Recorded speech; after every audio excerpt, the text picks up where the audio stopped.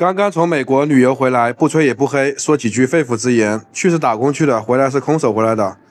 然后现在呢，在这个街头啊，发现了美国那边的城市啊，建设真的还不如我们国内的一些城市。你看这边到处是高楼大厦，美国除了纽约和洛杉矶有那么几栋高楼，真的没有其他高楼了，就是大部分是那种自建房。虽然看起来是那种，嗯，舒服啊，但是呢，不用交物业费，不用交管理费，但治安是一个问题。你看看现在在这边街头啊，大家的生活啊非常的惬意，安居乐业。但是在美国那边呢，街头啊很多流浪汉，很多人刚开始不相信流浪汉哪里来的。我告诉你，很多有美国梦，不光是咱们中国人，有很多人想跑出去去看看美国打工啊，赚钱啊，赚美元啊。实际上过去之后才发现那边的美元真的难赚，因为美国那边的一个就业环境其实是比较不稳定的，主要还是因为语言问题。你如果语言不行的话，就算你正常签证过去，你只能在华人老板底下打黑工。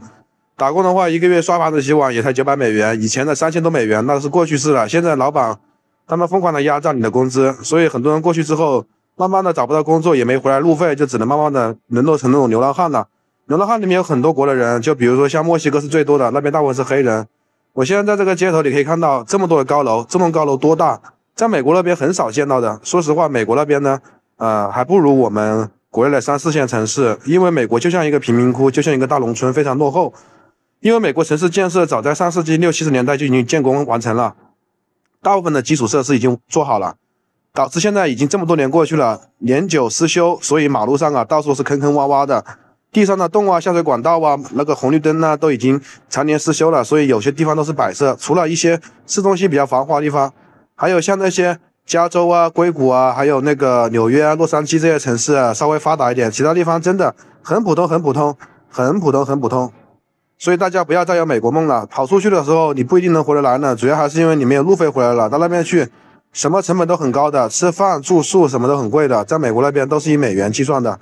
你看咱们这个街头啊，地面上非常的干净整洁，在美国夜晚是不敢出来的，哪像在咱们大中国治安这么好，是不是？这得益于这些年的扫黑除恶的效果，让那些小混混都已经直图迷访，那个迷途知返啊，然后就改邪归正了，该做保安的做保安去了，该做那个，呃，就是呃，比如说各种各样的工作都有嘛，他们已经回归到正常生活了。但在美国那边，网上呢是有帮派性质的，网上都是各种团体，因为美国那边是合法持有那个什么什么东西的，所以呢，在美国街头啊，你在。呃，遇到警察的时候啊，必须不能双，就是你不能双手啊，就是放到背后去，要不然就被别人误会了。所以在美国那边呢，有经常那个什么各种事件、那种事件，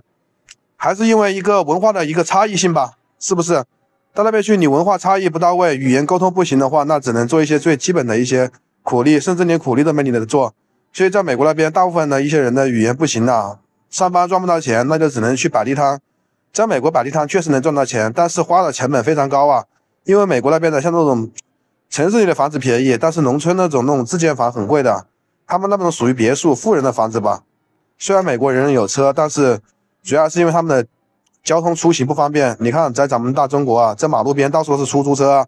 到处都是的士。在美国虽然也能叫网约车，也有移动支付，但是没那么普及，点外卖也没那么方便。比如说咱们现在选择这个里面购买一个东西，在家里点外卖就可以到家。但在美国那边是不可能的，没那么普及，很多东西啊，可能要半个小时、一个小时、两个小时、三个小时才能送过来，到时候口感、味道都变了，对不对？这是美国的一些情况，所以大家不要再做做美国梦了。虽然美国那边确实呃赚的多，但花的也多，成本太高了。很多人都是打工去的，带点积蓄，倾家荡产过去的，就是把所有东西变卖了过去，回来之后发现没有自己容身之处了，因为在那边钱都花的差不多了。